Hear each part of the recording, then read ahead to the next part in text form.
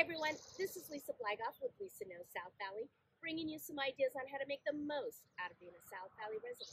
Here are some of the events happening May 17th through the 24th. Come out on Thursday, May 19th for a show and shine to kick off the car show season. They'll have music, food and drinks, and of course, some of the finest cars in Gilroy. Park rides will not be in operation, but you can still walk the park and enjoy its beauty. Admission is free but you must register on Eventbrite. Then on Friday, May 20th, from 4 to 7 p.m., Ride the Gardens Gilroy. In celebration of Bike to Wherever Days, Gilroy Gardens will be open to cyclists and cycling families. Space is limited, so the park will only be open to the first 500 ticket holders. Register now on Eventbrite to secure your spot. The food truck fly-in is back.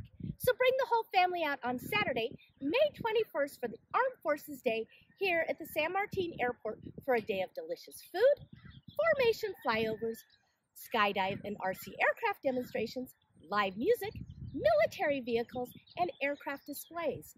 There will also be a wine tent at the Wings of History Museum.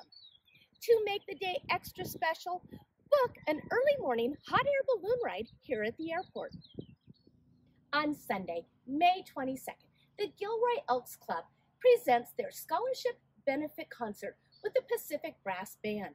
The hosted champagne reception will begin at 2 p.m. and the concert starts at 3 p.m. And you can get your tickets by calling 408 842 9397.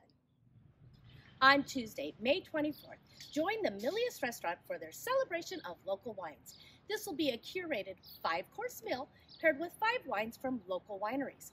Call 408 337 5100 for your prepaid reservation. Please like and share this video so that your friends and family can be part of the fun. And as always, for more information on this week's events, event links, and other upcoming events, check out my website at lisaknowssouthvalley.com. This is Lisa Blagoff with Lisa Knows South Valley, wishing you a fun-filled week. Bye!